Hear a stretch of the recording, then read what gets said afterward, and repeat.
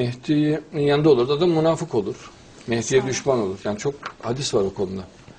Yani Mehdi'nin varlığı yeterli değildir. Yani vicdanın olması, Allah'ın ona hidayet vermesi gerekir kişiye. Yani güzel huylu olması. Mehdi'nin çok fazla düşmanı olacaktır. Çok fazla münafık ona karşı kin duyacaktır. Kendi cemaatinden, kendi topluluğundan ona münafık olarak karşı koyan gruplar çıkacaktır. Hadislerde bu belirtilmiştir. E, Dolayısıyla Mehdi'nin yanında olmak, e, hidayet bulmak için yeterli bir şey değil. Ama cehennemini genişletir, o ayrı. Yani e, kafir huyluysa, münafık huyluysa cehennemine vesile olur Mehdi.